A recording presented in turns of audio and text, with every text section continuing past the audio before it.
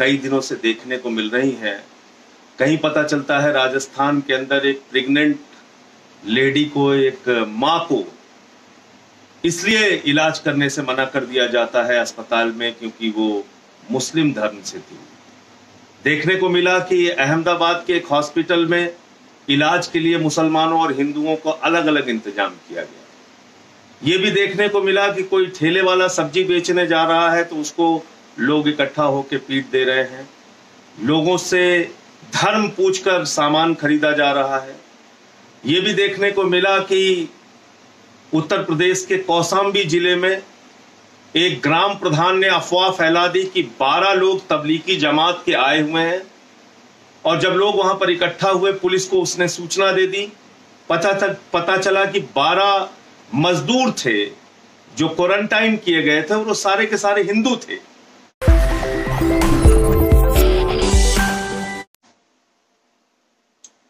जैन साथियों, इस वक्त जहाँ एक और पूरा देश कोरोना संकट से जूझ रहा है, वहीं कई ऐसी खबरें आती हैं जो मन को बहुत विचलित करती हैं, परेशान करती हैं। और ऐसी ही खबरें कई दिनों से देखने को मिल रही हैं। कहीं पता चलता है, राजस्थान के अंदर एक प्रेग्नेंट लेडी को एक माँ को इसलिए इलाज करने से मना कर दिया जाता है अस्पताल में, क्योंकि वो मुस्लिम धर्म से थी। देखने को मिला कि अहमदाबाद के एक हॉस्पिटल में इलाज के लिए मुसलमानों और हिंदुओं को अलग अलग इंतज़ाम किया गया। ये भी देखने को मिला कि कोई ठेले वाला सब्ज़ी बेचने जा रहा है तो उसको लोग इकट्ठा होकर पीट दे रहे हैं। लोगों से धर्म पूछकर सामान खरीदा जा रहा है। ये भी देखने को मिला कि उत्तर प्रदेश के कौसाम्बी ज़िले में एक ग्राम प्रधान ने अफवाह फैला दी कि 12 लोग तबलीगी जमात के आए हुए हैं और जब लोग वहाँ पर इकट्ठा हुए, पुलिस को उसने सूचना दे दी। पता तक, पता चला कि 12 मजदूर थे जो क्वारंटाइन किए गए थे और वो सारे के सारे हिंदू थे। ऐसे समय में जब कोरोना से पूरा देश जूझ रहा है, लड़ रहा है, सारी सरकारें दिन रात चिंतित हैं लोग अलग अलग धार्मिक संस्थान, राजनीतिक पार्टियाँ, सामाजिक संस्थाएँ, व्यक्तिगत तौर पे बहुत सारे लोग लोगों की मदद करने में जुटे हैं।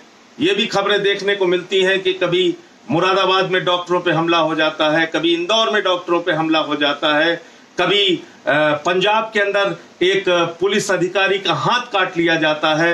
ये भी खबरें देखने को मिलती हैं कि कुछ लोग ऐसे समय में पुलिस का उत्साह वर्धन करने के लिए फूल की वर्षा करते हैं उनके ऊपर तो नफरत की भी खबरें, मोहब्बत की भी खबरें, मदद की भी खबरें, दुर्भावना की भी खबरें, ये तमाम सब कुछ देखने को मिल रहा है। लेकिन मैं आपसे सिर्फ़ इतना कहना चाहता हूँ कि अगर इस बीमारी से हम लोग जीत सकते हैं, अगर हम इस बीमारी को हरा सकते हैं तो सिर्फ़ और सिर्फ़ अपनी एकता के दम सिर्फ़ और सिर्फ़ 130 करोड़ हिंदुस्तानियों के संकल्प से एक साथ आकर एक एक साथ मिलकर एक दूसरे की मदद करके हम इस बीमारी से लड़ सकते हैं और इसको हरा सकते हैं। अभी एक थेरेपी की चर्चा बहुत हो रही है हिंदुस्तान में। एक तरफ़ तो खबर चल रही है कि मुसलमान यहाँ पर इन्होंने फैला दिया आ, कुछ विशेष सोच और विचार के लोग ये फैलाने की कोशिश कर रहे हैं कि मुसलमानों ने ये पूरा देश के अंदर कोरोना फैला दिया, मुसलमानों ने कोरोना फैला दिया। लेकिन इस बीच कुछ खबरें ऐसी भी आती हैं जिससे हमको सबक लेने की और सीख लेने की ज़रूरत है। एक खबर आई कि प्लाज्मा थेरेपी के ज़रिए कोरोना के गंभीर मरीजों का इलाज संभव है। प्लाज्मा थेरेपी के ज़रिए जो मरीज़ वेंटिलेटर पे हैं, जो जीवन मौत से जूझ रहे हैं, उनका इलाज संभव है। और दिल्ली के मैक्स हेल्थ क्लिनिक में, मैक्स हेल्थ केयर में वहाँ के डॉक्टर हैं सुधी बुधि राजा। उन्होंने इस थेरेपी से एक मरीज़ का इलाज शुरू किया। मैं वो थोड़ा आपके बीच में पढ़ के सुना देना चाहता हूँ। ये मैक्स हेल्थ केयर है। इसके क्लिनिकल डायरेक्टर हैं सुदीप बुधि राजा। डॉक्टर सुदीप बुधि राजा इन्होंने प्लाज्मा थेरेपी का इस्तेमाल करके एक मरीज़ का इलाज शुरू किया और उसकी हालत में काफ़ी हद तक सुधार हुआ है। और डॉक्टर साहब का कहना है कि वो मरीज़ जल्द ही वेंटिलेटर से हटा लिया जाएगा। एक दो दिन के अंदर अब उसको वेंटिलेटर की ज़रूरत नहीं पड़ेगी। उसकी, उसके उसके स्वास्थ्य में इतनी तेज़ी के साथ सुधार हो रहा है। लेकिन ये प्लाज्मा थेरेपी है क्या? ये प्लाज्मा थेरेपी जिसकी चर्चा आज पूरी दुनिया में हो रही है, वो कोरोना संकट से लड़ने के लिए एक सबसे सटीक ज़रिया बन रहा है प्लाज्मा थेरेपी, एक सटीक इलाज बन रहा है प्लाज्मा थेरेपी। सौ प्रतिशत इस पर कोई दावा नहीं कर सकता, लेकिन फिर भी इसमें काफ़ी हद तक इलाज करने में सफलता मिल रही है कोरोना के गंभीर मरीजों प्लाज्मा थेरेपी के ज़रिए गंभीर से गंभीर मरीजों का इलाज शुरू होगा और वो ठीक किए जा सकते हैं। ऐसा डॉक्टरों का दावा है। प्लाज्मा थेरेपी वो है कि अगर कोई व्यक्ति कोरोना संक्रमण संक्रमण से ग्रसित हो जाता है, अगर कोई व्यक्ति कोरोना का पॉजिटिव हो जाता है, अगर किसी व्यक्ति को कोरोना हो जाता है, उसके बाद अगर उसका वो ठीक हो जाता है इलाज के बाद तो उसके ज़रिए एक उसके उसके शरीर में एक एंटीबॉडी डेवलप होता है।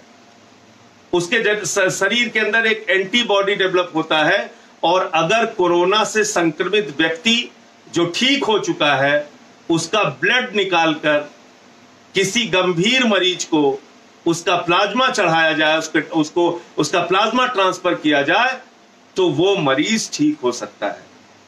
यानी आप समझ गए? अगर कोई कोरोना पॉजिटिव का केस है, वो ठीक हो चुका है तो उसके शरीर का ब्लड लेके उससे प्लाज्मा निकालकर अगर किसी गंभीर कोरोना के मरीज़ को ट्रांसफ़र किया जाता है तो वो ठीक हो सकता है। उसका इलाज संभव है, उसके स्वास्थ्य में तेज़ी से बदलाव आ सकता है।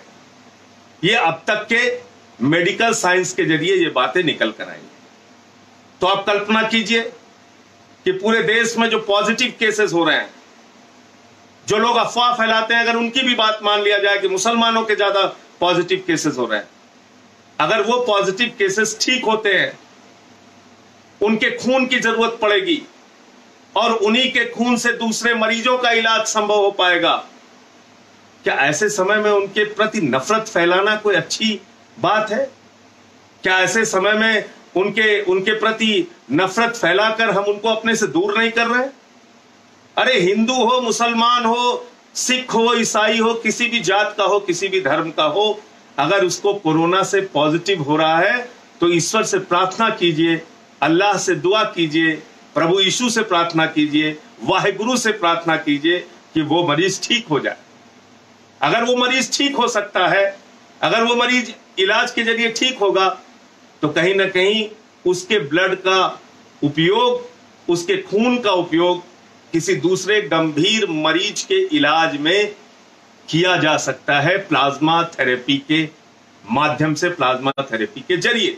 इसका मतलब जो मुसलमान आज कोरोना पॉजिटिव हो रहा है, ठीक होने के बाद उसका खून किसी हिंदू के लिए इस्तेमाल हो सकता है। जो हिंदू आज कोरोना पॉजिटिव से ठीक हो रहा है, उसका खून ठीक होने के बाद किसी मुसलमान के लिए इस्तेमाल हो सकता है। भाईचारे और गंगा जमनी तहजीब, हमारी एकता का ये सबसे बड़ा उदाहरण होगा। इसलिए साथियों और दोस्तों, आप लोगों से निवेदन है, ये काम बंद कीजिए और ऐसा करने वाले हर व्यक्ति का खुलकर विरोध कीजिए, जो किसी ठेले वाले को, किसी सब्ज़ी वाले को, किसी सामान बेचने वाले को, किसी छोटी मोटी दुकान करने वाले मुसलमान को ये कहकर परेशान करते हैं और उसका सामान फेंक देते हैं या उसके यहाँ से खरीदारी करना बंद कर देते हैं, क्योंकि वो मुसलमान है। या फिर उन लोगों के भी विरोध में अपने स्वर बुलंद कीजिए जो लोग धर्म देखकर इलाज करते हैं। ये जानने के बाद कि ये मुसलमान है, उसका इलाज करने से अपना हाथ पीछे खींचते हैं। ये हमारी संस्कृति नहीं है, ये हमारी सभ्यता नहीं है, ये हिंदुस्तान की पहचान नहीं है। हम कहते हैं, अरविंद केजरीवाल जी हमेशा एक गीत गाते इंसान का इंसान से हो भाईचारा। यही पैगाम हमारा। हिंदुस्तान की गंगा गंगा जमनी तहजीब की यही पहचान है। हमारी एकता, हमारे भाईचारे की यही पहचान है। हिंदू धर्म जो वसुधैव कुटुंबकम की बात कहता है, कहता पूरा विश्व हमारा परिवार है। ये हमारे हिंदू धर्म की भी पहचान है। हम सबको अपने परिवार का एक सदस्य मानते हैं। तो इसलिए साथियों, आज इस कोरोना संकट के समय में एक दूसरे की मदद करने के बारे में सोचिए। इंसानियत और भाईचारे के बारे में सोचिए, नफरत को हराइए, मोहब्बत को जिताइए। जय हिंद।